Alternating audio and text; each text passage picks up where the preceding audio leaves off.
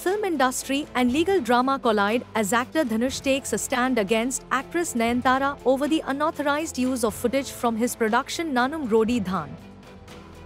Dhanush has filed a civil lawsuit against Nayanthara and her husband, filmmaker Vignesh Sivan, in the Madras High Court.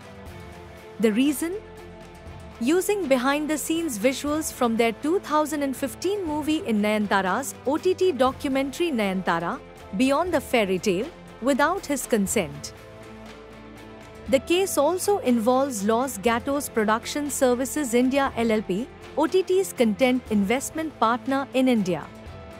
Dhanush's company, Wunderbar Films, has requested permission to include Los Gatos in the lawsuit which is under the jurisdiction of the Madras High Court.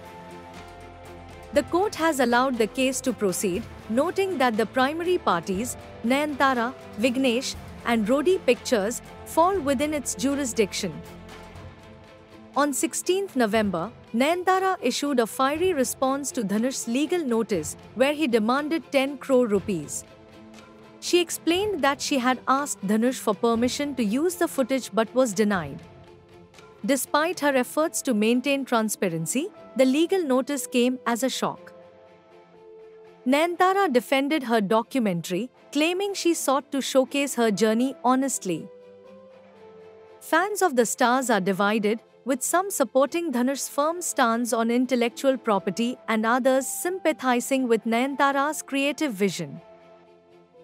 As this legal battle unfolds, one question remains Will this clash tarnish the bond between two of the industry's most celebrated talents?